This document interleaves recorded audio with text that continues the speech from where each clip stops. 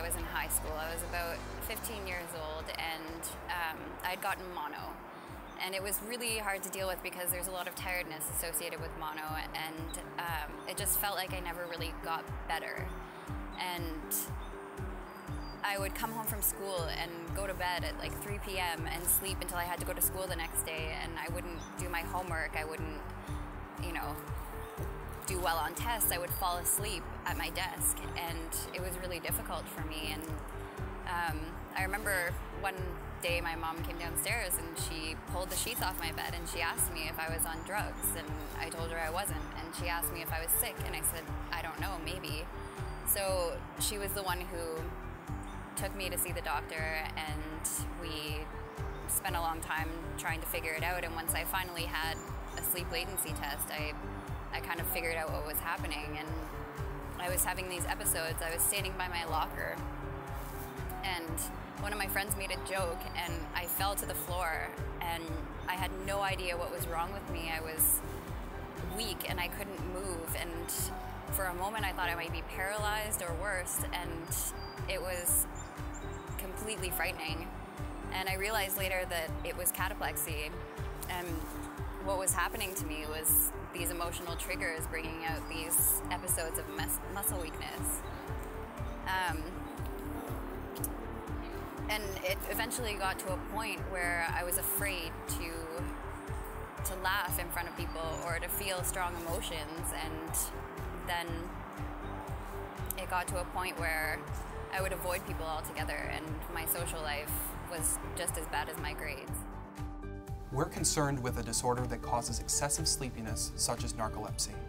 To be diagnosed with narcolepsy, a patient must go through a thorough evaluation in the clinic, as well as objective testing in a sleep laboratory. The testing involves an overnight sleep study called a polysomnogram, followed by a daytime nap test called a multiple sleep latency test, or an MSLT. On the MSLT, a patient has five opportunities to nap, once every two hours starting at 8 a.m.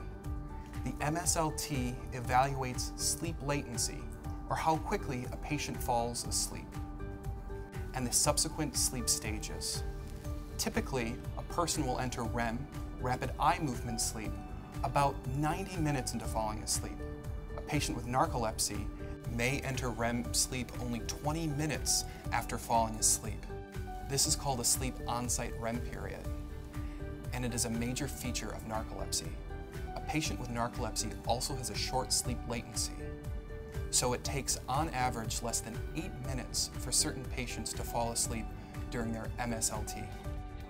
Since I've been diagnosed, everything has changed. It went from okay to worse to even worse and then better. And slowly after trying a lot of medications, a lot of dosages, a lot of different timings, it, I got to a point where I could control my narcolepsy with, you know, just a few different medications and the right regime and the right sleep hygiene.